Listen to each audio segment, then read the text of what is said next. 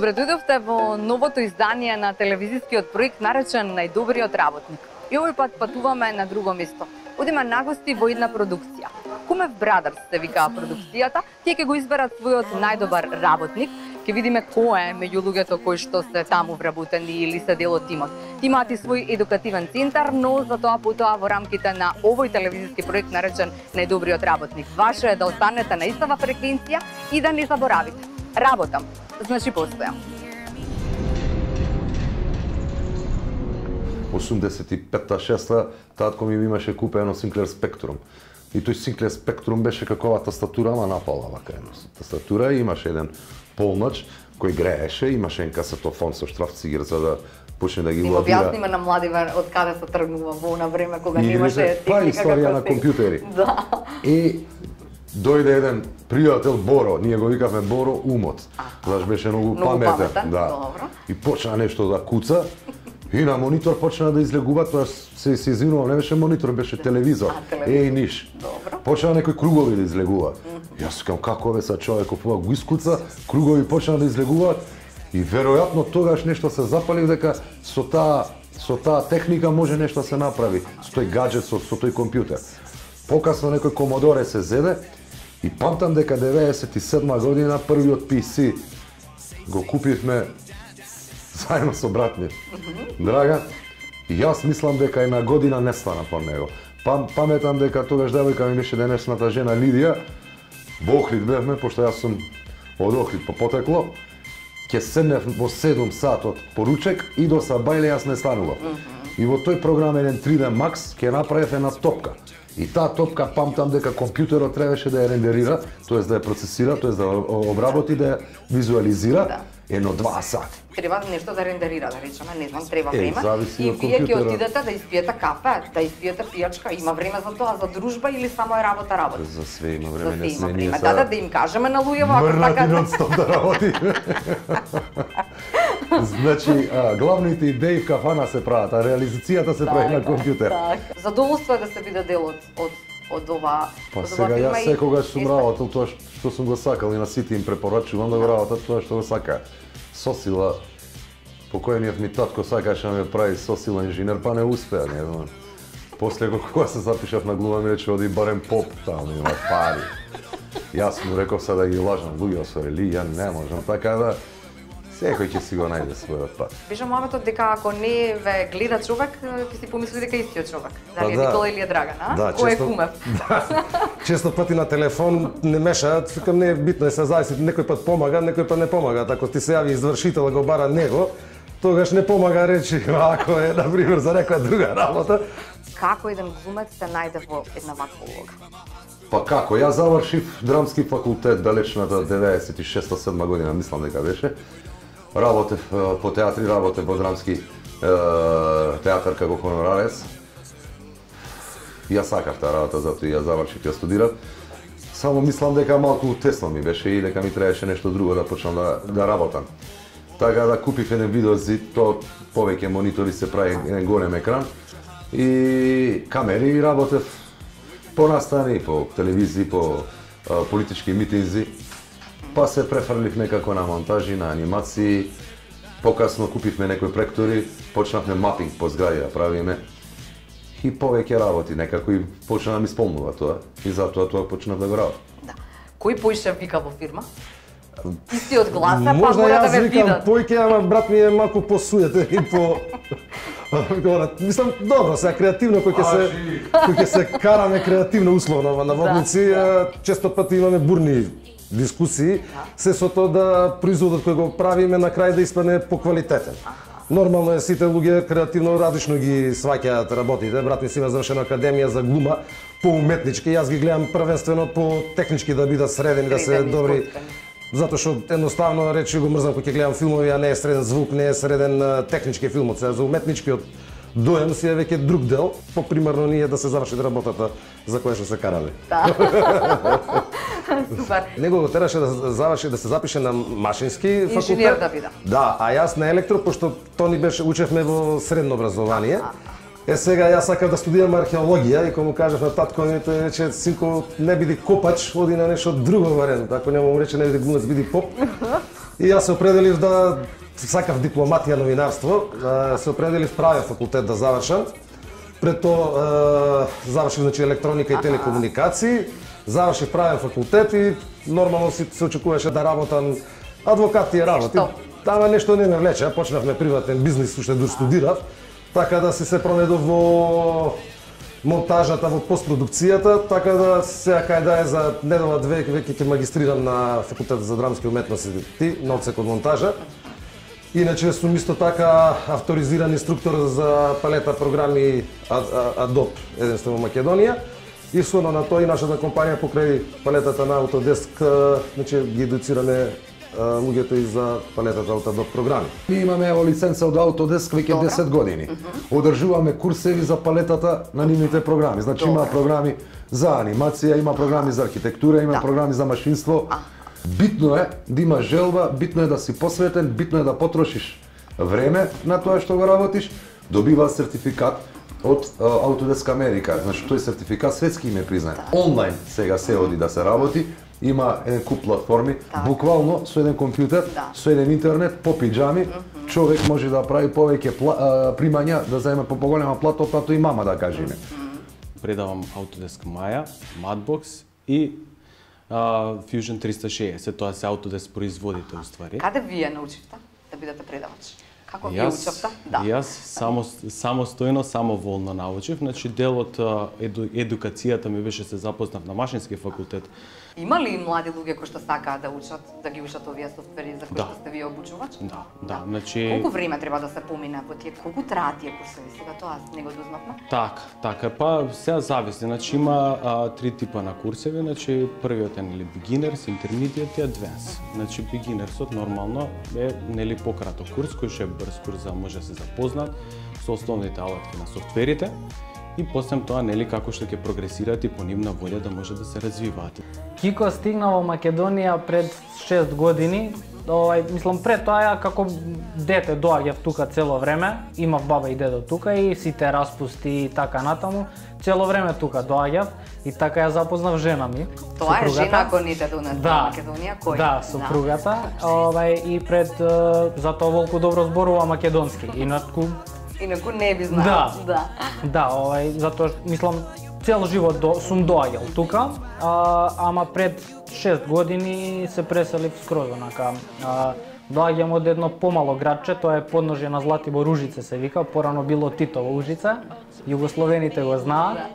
Овај и кога завршив факултет, а, завршив општа информатика и беше моето или да се префрлам во во Белград или да дојдам тука во, во Скопје, ама ете се со со сопругата се запознавме.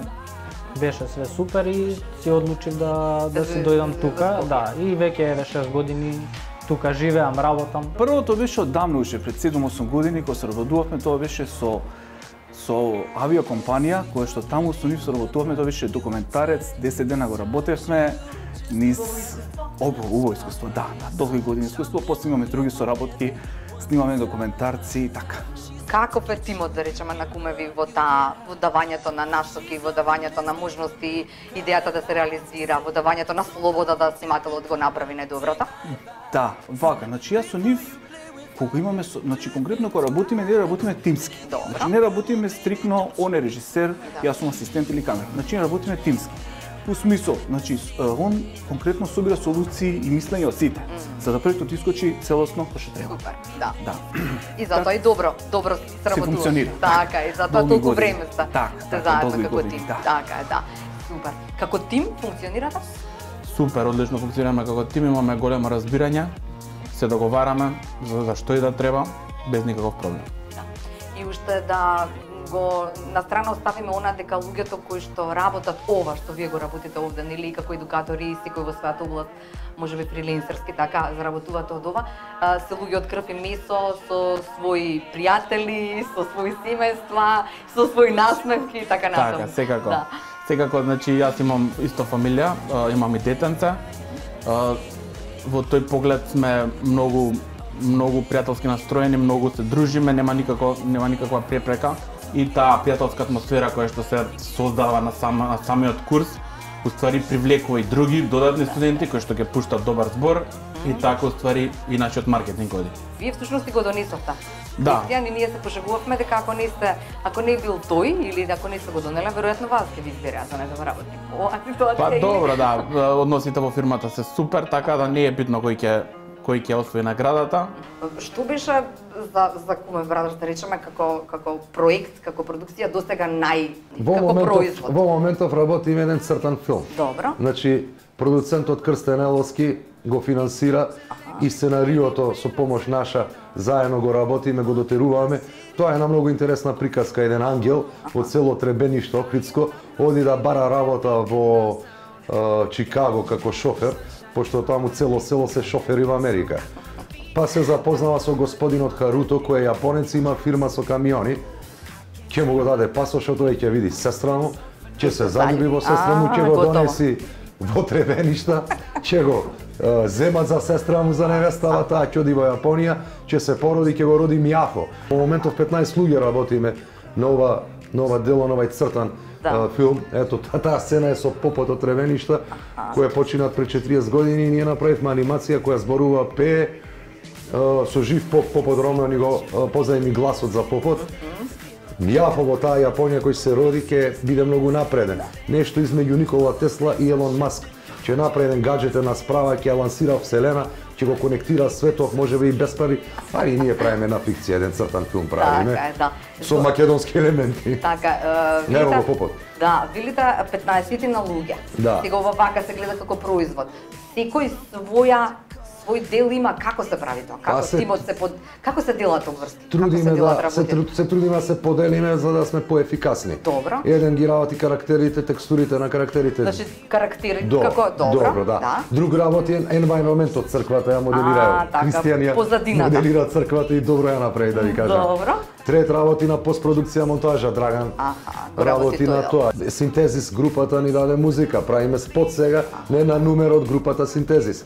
А, Кокан а, Димушевски ќе прави а, а, постпродукција А, на, на, на целиот звук. Аха, Не на анимираниот? На анимираниот филм не знам каде треба да се стави звук од авион, да стави звук од Да. авион, амбиентот да го до- дотера да го среди и ќе се потрудиме да добијаме еден подобар производ, едно пола сат анимиран филм. Сега колку ќе е добар, ќе го пуштиме на фестивали, планот ни е тоа, па ќе си кажат надвор. Иначе со ова сакам исто да конкурираме во филмски фонд.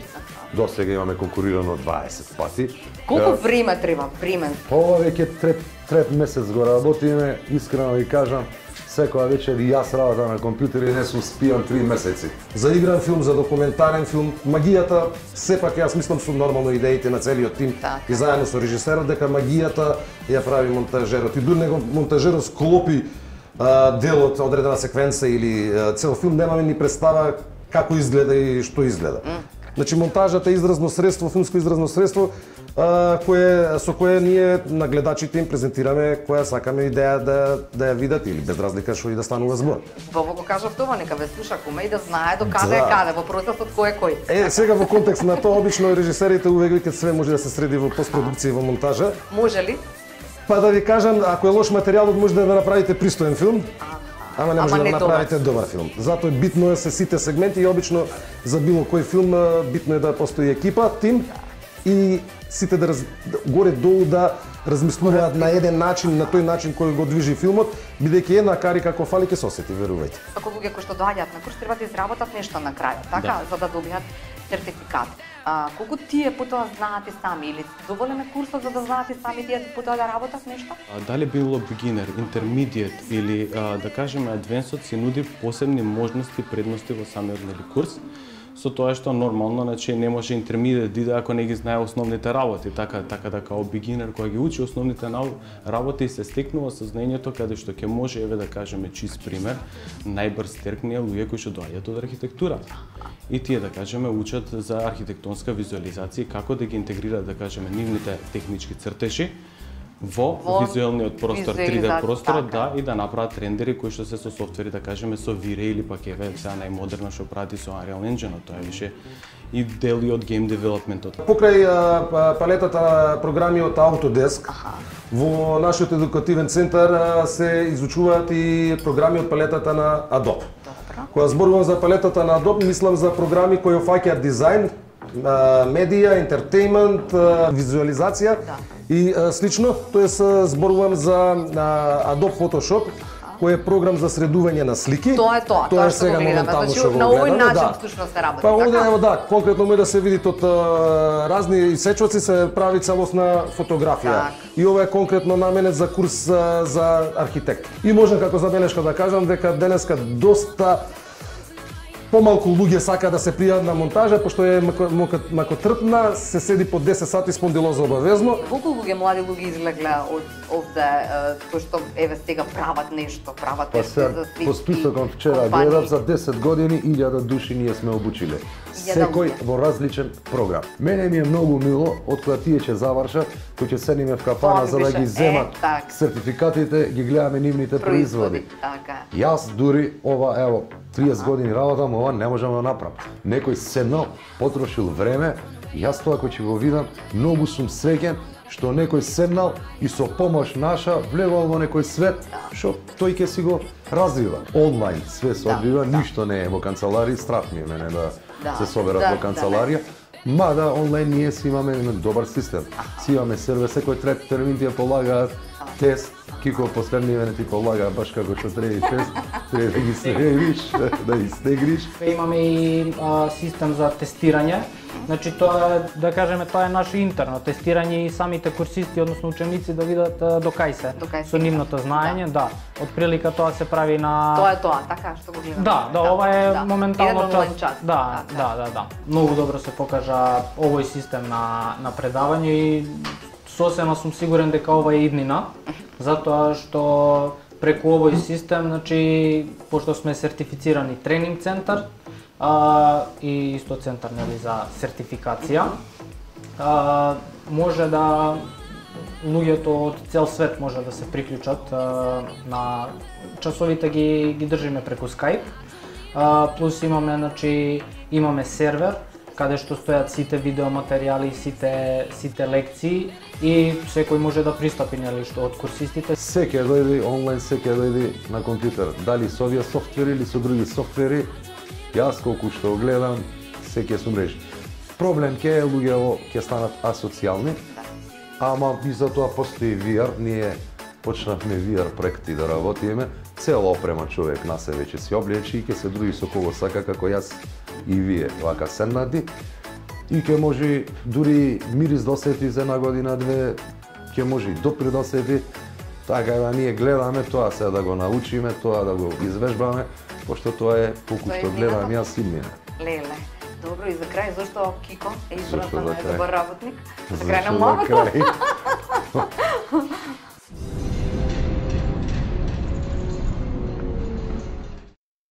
Драган, зашто Кристијан е избран за најдобар работник од вашата фирма? Е, сега зашто? Пополека кога влезе пред 5 години не беше тоа што е сега. За 5 години научи многу. По а како се развива работиве во, во она, така маку и си се ослободи и по стана Кико е исклучителен, значи преку времено работи, на страна од тоа што ете вика вика може жена ми вика ќе ме кара вика колку работам. Кристијан најдобар работник затоа што напредува без престан, затоа што е многу точен, функционален и секогаш гледа да се среди работата на најбрз и најпрецизен начин. И во моментов најповеќе се труди. Прецизен, концизен, значи а, немам лош збор да кажам за него, значи се знаеме од самиот почеток, да, точно, значи као другари комшија. А, и комшија, Комшија ми е сепак, да. Мене ми се свиѓа кај него тоа што а, е точен и јас сум значи она дисциплиниран, а, функционира на база на договор, кај уметници е малце ќе се договориш па после чека не е тоа, не е ова.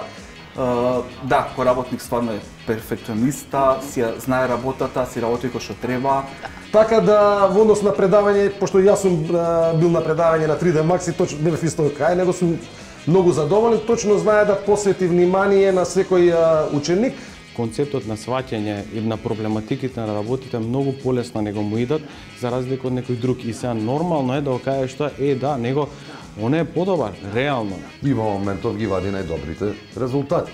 да дојдевте пред 5 години, друг ќе беше... друг, Да, Кико, така да се е то Така. променливо како што и ние сме променливи, вечно нема да живееме. И битно е да оставиме нешто зад нас.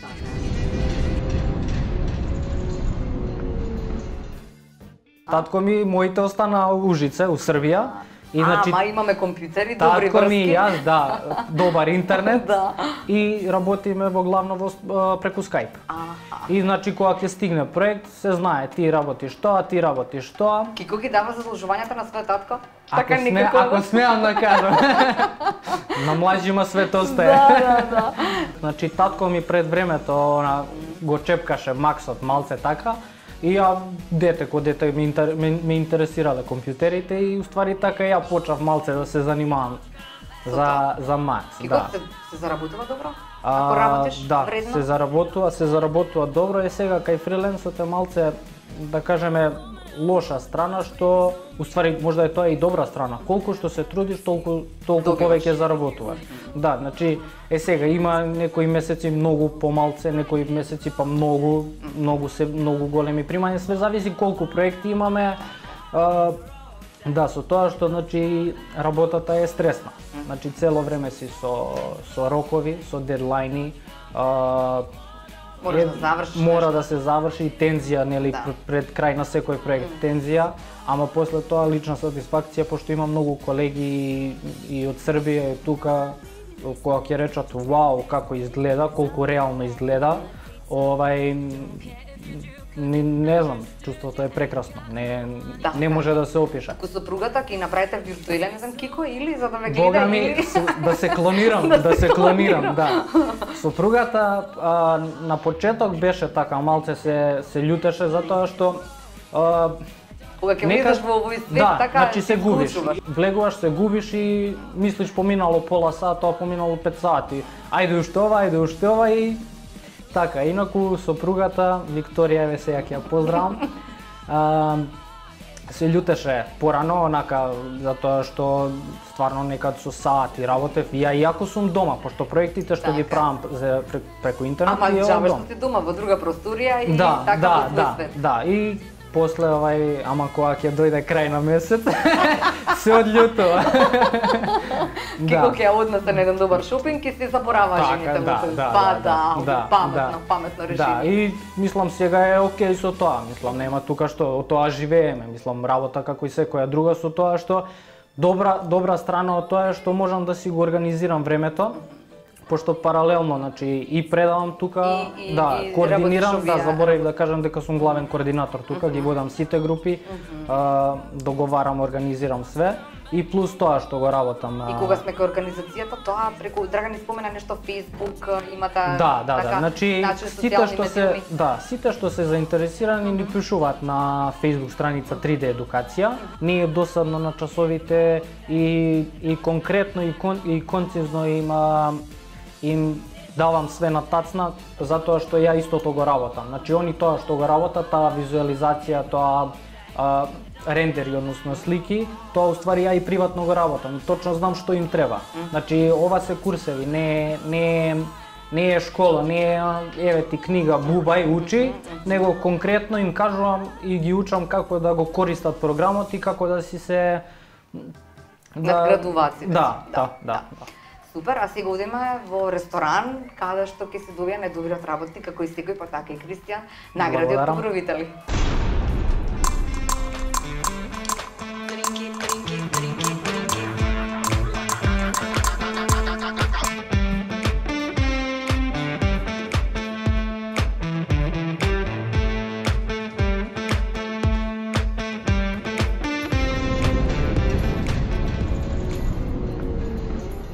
А сега сме во една поопуштена атмосфера и прво ајде да ве прашам тогаш колку често со сопругата Викторија знаете да си приуштите еден ручек, вечера, А, многу често, многу често и а, потенцираме на тоа да искачаме затоа што тоа е да кажеме некое наше време, она со нејзината работа, јас со мојата работа и некое наше време онака се знае тука вечера или ручече. Да, време за семејството. Да, практикуваме. Е тоа време за семејството, најдобриот работник, ќе си го искористи за семејството, Сега потисното, така, семејство, ќе дојдете во ресторан Градина кога сакате по ваш избор ручек или вечера, ве чекаат овде најдобриот работник, мора да добие и вредни награди, убави награди да се почувствува важен, така? Да. А, втората награда се однесува на моментот пазарување. Кој пазарува во семејството? Семејството и двајцата. И двајцата? Да, се Добра. запишува све што треба на ливче и едно 2-3 сати. Тоа е еднаш неделно, отприлика Добра. имаме тоа што се вика на велико пазарење. Инаку и работите дома не ги не ги делам на Аха. на машки и женски. Добра. Значи, Све и знаете да помага. помогнете. Да, дури почнав и некои да кажам ручеци полесни да правам, пошто кога е Што значи полесен ручек? Леќа. А, па не да е се- лесно. Па добро, се става леќето у водата А, уште нешто. а после запршката ово она? Па, тајни состојки не се за за пред Не се за пред камера. Ама излегуваат леќа леќа, така? Да. Да, Ја добро. јадеме, ништо не ни е добре. Ќе си направите прво список, ќе отидете во Супер Кизго во Тафталиџе, 3000 динари ваучер се ваши. Вие додадете ако нешто треба, ке кој сега, кој добро заработува и ќе доплати, така? Фала Богу. А, третата награда ќе ве однесе на едно место каде што придово има муавет си направивме муавет вака пред камера, нели дознав дека Златибор го знаете и е супер место за одмор и релаксација, но имаме ние и тука наши места во Македонија, парите да го запознаете. Пекчево ве вика на еден викенд со сопругата, полупансион за вас во хотел. Благодарам. Викторија, слушаш? Ете, од мене еден... Една честитка. Една честитка, да. Така е. Ви благодарам. Четвртата награда исто така ќе биде многу задоволна Викторија. Мислам дека на неа ќе ја подарите заради тоа што не знам колку вие ја средувате кусата, ама Сретен Кустич и неговото студио арт ја чекаат на еден целосен третман. И за крај не и помалку важна, по мене можеби и најважното нешто што ќе ви остане за сеќавање за цел живот на ова ваша можеби искуство прв пат пред камера, тоа го кажавме, но како велите убаво е? Убаво е чувството? Кога некој ти приреди нешто, онака, не мора тоа ни да е нешто ни скапо, ни ништо, битно е вниманието, многу Да, убаво. да, да. Да, а, што би им рекле на сите оние кои што во моментот не гледаат, се мислат дали тоа да почнат со собствена работа, никаде да да се обидат. Дали има место за сите? А, Има место, само треба да да се биде истраен у тоа и тоа што сте го замислеле, да да не се откажувате. Само напред, и ја милион пати сум имал и И кризи, и падови, да, да. и падови и све, ама пливаме некако. Да, да. Така да само само напред. И и тие неуспеси све тоа пак е некоја лекција за За понатаму. за понатаму. Дали оваа статуетка која што на која што има нели и лого на емисијата што вели работам, значи постојам, ќе ви биде некаква сатисфакција да останете Да, да, најдобар, да. затоа што нели тоа е едно звање кое што треба да се остане или да се Апсолутно, да, Мгм. значи еве повели. благодарам. И каде ќе најде место? Место поред компјутер се Да. знае.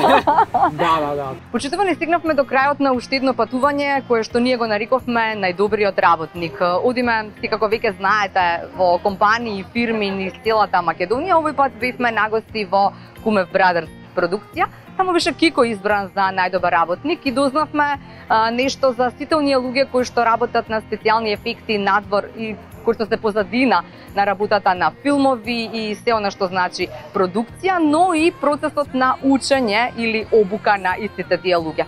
Дознавме и дека ако си вреден, ако си одговорен, прецизен и концизен, можеш да станеш убедливо најдобар работник, но и добро да заработиш од себе оваа работа. И тоа е целта на овој проект, да дознаеме дека и во Македонија има луѓе кои што успешно си ја работат својата работа и на крајот уште еднаш само да ве подсетам, не заборавајте, работам, значи постојам.